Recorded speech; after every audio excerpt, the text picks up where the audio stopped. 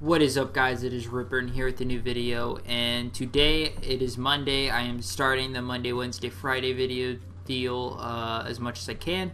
Um, and today I want to just start off real quick and get into the topic and it's going to be a short video but as you guys, you know, for some of you guys, exam week is coming up and I know I have a lot of friends who are, you know, going through exams and, you know, just like prepping for exams. Like we're in the middle of like the week before exams so I kind of just want to help some people real quick. And my advice for, you know, getting through exams and getting through, you know, maybe even the week before exams and the week of exams, like, honestly, guys, it's really easy, but people overthink things.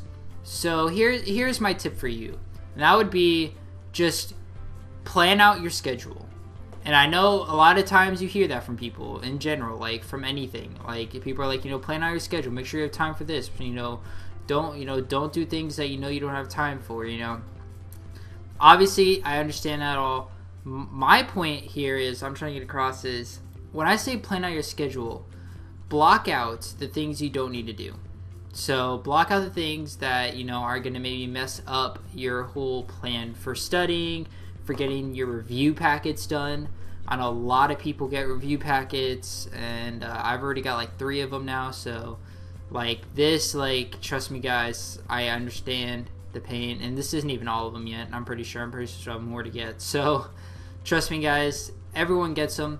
Uh, you just need to plan it out smart. You need to, you know, when you get home, literally when you get home, just you know, eat, do whatever you need to do, obviously, um, and then just spend like an hour, however long it takes you to do this. You know, to do the review packet or uh, if it comes to or if, it, if you know if you are on the week exams as soon as you come home you know do all, eat and do all the stuff you need before but then like try to plan like an hour of studying. Like i mean like an hour of studying before um, i think it'd be a good idea. Uh, obviously a lot of people don't like studying and i totally get that.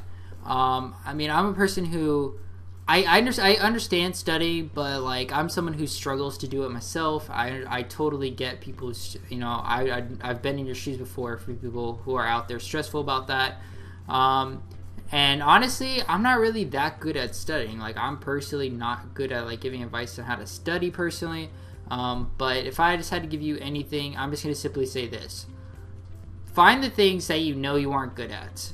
You know, find things you know you aren't good at and practice it continues you know write down your own like problems depending on what the subject is you know just answer it finding out your own way.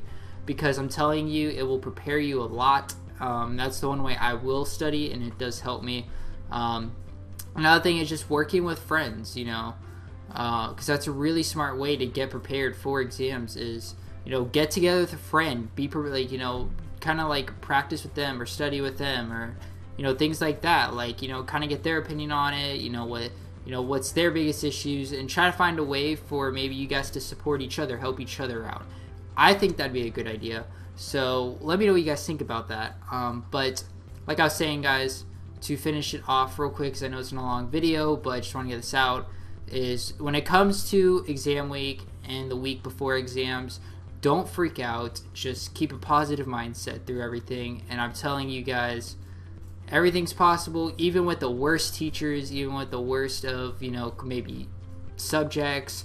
Trust me i've been there before. I used to hate chemistry and ended up passing it surprisingly. So like it's just all about dedication and being sure to sticking towards you know trying to get a good grades trying to make sure to achieve you know trying to achieve greatness because that's really the smartest thing and that's the smartest thing I could tell anybody is try to achieve greatness. Don't do anything that will mess up, basically mess up your future or mess up anything that's blocking you. So, yeah. I hope you guys did enjoy.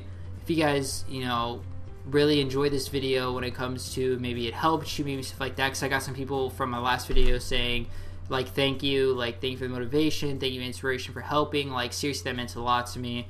And for all of you people who said that, big shout out to you. So definitely be sure to like the video if you guys enjoyed. Be sure to comment down if you guys have any topics you guys want me to talk about because obviously if you're from the old channel, you guys would know that I used to do this a lot, but then ended up losing all my videos.